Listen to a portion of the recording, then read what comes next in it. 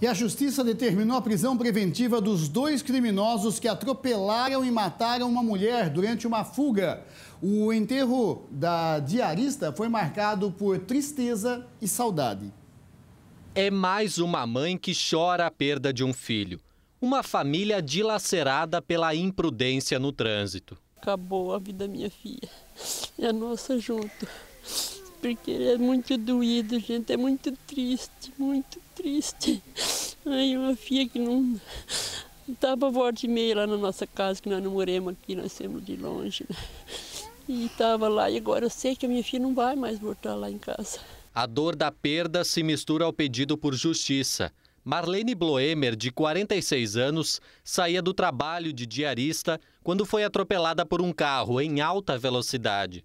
O veículo era roubado e nele estavam dois jovens que haviam acabado de assaltar um escritório de contabilidade. Tiago Severino de Godoy e Iago Oliveira da Silva, ambos com 20 anos de idade, passaram por uma audiência de custódia e já estão no presídio de Joinville.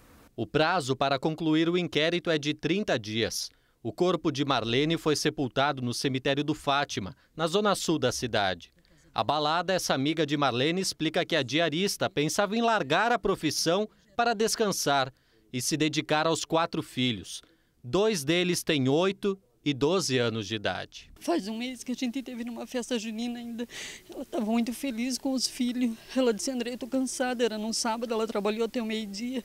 Mas eu tenho que participar da vida deles. Eles são pequenos. E agora ela deixa, deixa quatro crianças.